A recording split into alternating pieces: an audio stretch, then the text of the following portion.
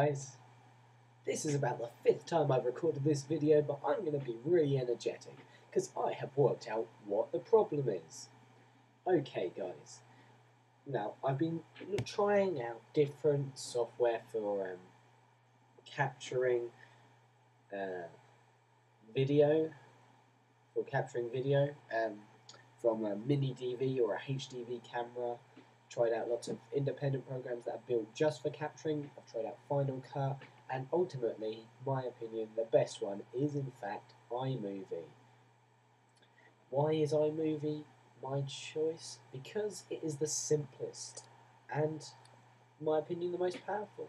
To capture an iMovie, you go File, Import from Camera, uh, it's telling me my lid is closed. Now, why is it telling me my lid is closed? It's because I have no camera plugged in. So, the next alternative is in fact the iSight. And, as it says, the lid is closed. I'm using a laptop, but I'm, I'm recording through an external monitor. So what you do is that you'd rewind your footage until the moment you want to start, and you press capture. Then, when you finish capturing, you press capture. And then when you've got all the footage you want, you press done. Now, iMovie will automatically split up all your clips into independent files. Mm. Sorry, I'm going to stop with the voice now. Basically, it will split up all your clips into separate files, which is really handy for editing, as I'm sure most of you know. Um, and then what you can do, um, all your footage will be in here. You right click, you press reveal in Finder, and then it will have all your footage in a folder that you've named. Um, and then you can literally just drag the folder into your project folder for your editing, and then you can put all the software, all sorry, all the video clips into your editing software, and bam, you're ready to go. You're ready to make films. All the clips are separated, and you can keep yourself organised because that'll all be in order.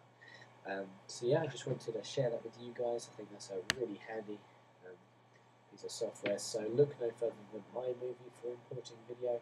What it also does, it gives you an option to import at a lower quality.